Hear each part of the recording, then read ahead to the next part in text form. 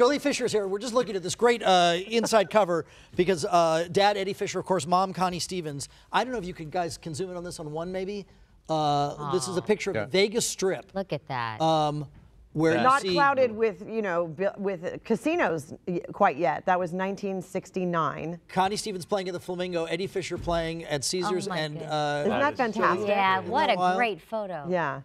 So I tell you what, I, asked you this when you started writing, and you said you've been writing this book. By the way, a chance to meet uh, Joely later uh, today. You've been writing your whole life.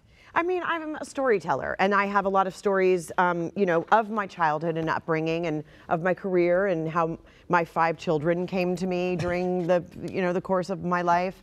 Um, the anomaly of a 21-year marriage in Hollywood, which, you know, I think they build us monuments after 20 years, Right. right?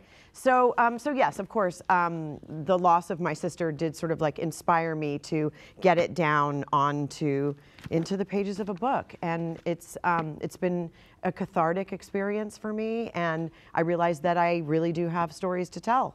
People, people uh, appreciate all the work that, that you've done. This is sort of an awkward question.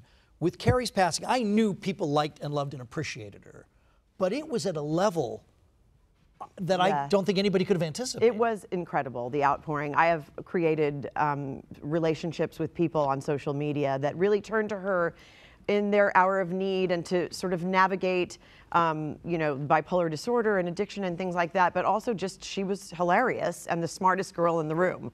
So if I can um, have some, just some seeds of that in what I've done, then I'm a lucky girl. um, all right, what this whole idea of growing up Hollywood? Yeah. Is, I mean, I think some, I think somebody sitting in Kansas thinks growing up Hollywood would be the best thing ever.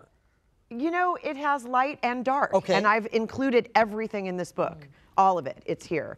Um, you know, I don't know. The stock answer is this is how I grew up. I don't know anything else. Right. But it's true. The issues are the same. I'm a, a, a woman who came of age with a with a, a, a radiant, beautiful, iconic, sexy movie star mother.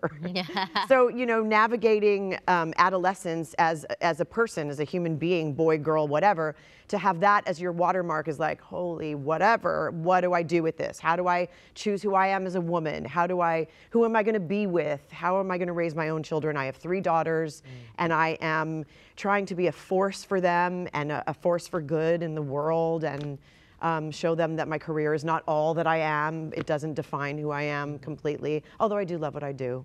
where, where are the, I mean, I, I think that idea with Connie Stevens, being, you know, that, that guys were interested in coming over to the house, maybe not to see you, but oh to my meet God, mom. your mom is Really? so hot. Oh my goodness. Did you hear that? So, like, yes. and did, was that, was, And I was like a chubby, awkward, like trying to find who I was. and was any aspect of your mom so hot pleasing to you or give you a sense of pride or like, no? Like, Sure. Yeah. Come on over. Check out my mom. Nothing weird about that. and then let's go play seven minutes in the closet.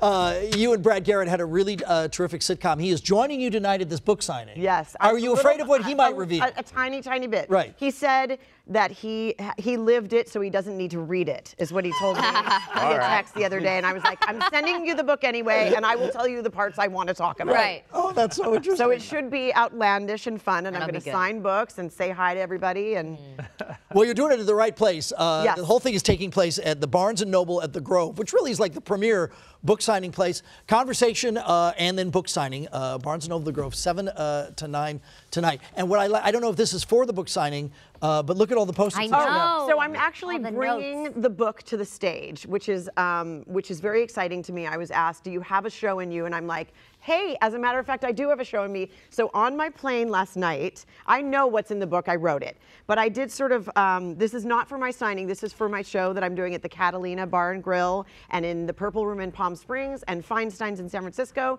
and Martini's on Fourth in San Diego and then going back east. But it's my one-woman show, Growing Up Fisher. Bringing it to the stage. Put up, put up the uh, full screen on, again so we can remind folks again tonight for the book signing, Catalina Club, which is such a great venue. That live performance taking place on December the 6th, and then uh, Palm Springs. It'll be fun to see uh, Joely there. So I'll tell some stories and sing some songs. Yeah, good There- why time. not? Like a, like a good fisher. Keeping up the proud tradition. Really nice to see you Thanks, this morning. Joely. So Thanks so much good. you. Thank you. Thank you. Happy Thanksgiving. You too. Too.